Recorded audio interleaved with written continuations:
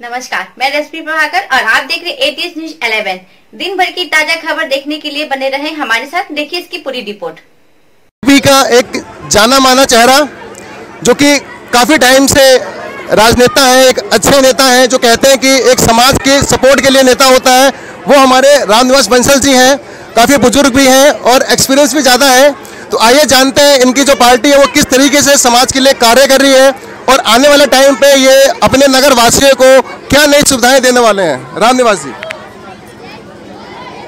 हमारी भाजपा सरकार इस टाइम सभी क्षेत्रों में बहुत अच्छा काम कर रही है, क्योंकि हमारे मुखिया माननीय नरेंद्र मोदी जी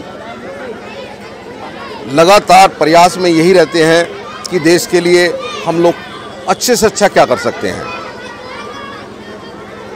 हमारे, उन्होंने इतनी योजनाएँ चालू कर रखी हैं, जिनको हम लोग, भाजपा के लोग घर घर जा कर के बताते हैं। सुकन्या योजना है, गैस योजना है, और महिला बुज़ुर्गों के लिए हमारी पेंशन योजना है। बहुत सी ऐसी कम से कम सौ योजनाएँ हमारी मोदी जी ने चल रही चला रखी हैं।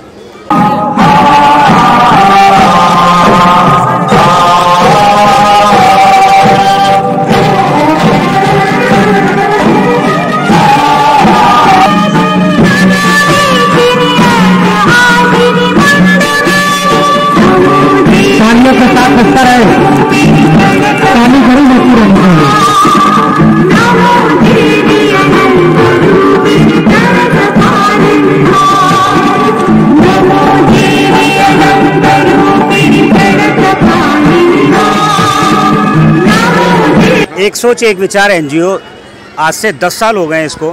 शिक्षा के और स्वास्थ्य के क्षेत्र में हम काम करते हैं। मन में इच्छा थी कि बहुत सारे लोग बड़े बड़े एनजीओ के साथ जुड़ते हैं, बहुत बड़े बड़े प्रोग्राम करते हैं, लेकिन जो ग्रास रूट पर काम होना चाहिए, समाज के जो निचले तबके में जो काम होना चाहिए, वहाँ तक जो योजनाएँ सरकार की हैं या जो बाकी की सारी चीज़ें हैं, वो नहीं पहुँच पाती। तो हमारा शुरू से ये इच्छा रही कि हम वहाँ तक पहुँचेंगे जहाँ तक कोई आज तक नहीं पहुँचा। चाहे वो जूनियर क्लास के बच्चे हों या बड़े क्लास के बच्चे हों ग्रेजुएशन के हों या वैसे हों, सारे बच्चों को हमने प्रोत्साहित करने के अलग अलग माध्यम से हम कार्यक्रम करते हैं।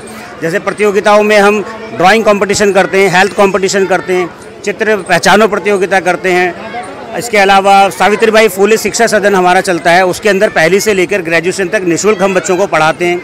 लाइब्रेरी चलती है A P J Abdul Kalam computer centre है जहाँ पर जो कोर्स बाज़ार में पाँच सौ रुपये का होता है उसको हम फिफ्टी परसेंट में वहाँ पर हम कराते हैं। तो अभी आपकी जो टीम है वो कितनी बड़ी टीम है और आपकी जो ब्रांचें हैं वो कितनी ब्रांचें हैं? अभी केंद्र जो है दिल्ली सरकार ने हमें ऑफ़िस दे रखा है। ये है अपना झिलमिल इंडस्ट्रियल एरिया वहाँ पर दिल्ली सरकार ने हमें ऑफ़िस दे रखा है। एक ब्रांच हमारी यहाँ पर है जो सौरभ सुमन जी की अगुवाई में काम करती है। दूसरी एक रामनगर शाहदरा में हमारी एक ब्रांच है। अपना ये अपना शाहदरा के बाद हमारी जो ब्रांच है वो हर्ष विहार में एक ब्रांच है। उसके बाद में एक ब्रांच है हमारी यमुना विहार में। टोटल पाँच ब्रांचेज हमारी दिल्ली के अंदर हैं और ऑल इंडिया पे हमारा काम चलता है। ये जी ये थे बलजीत चौहान जी जो एक सौ एक सौ एक एनजीओ के रक्षक हैं ठीक है? उन्होंने जाना कि किस तरीके से उनकी एनजीओ काम करती है किस फ़ील्ड में काम करती है कैसे काम करती है।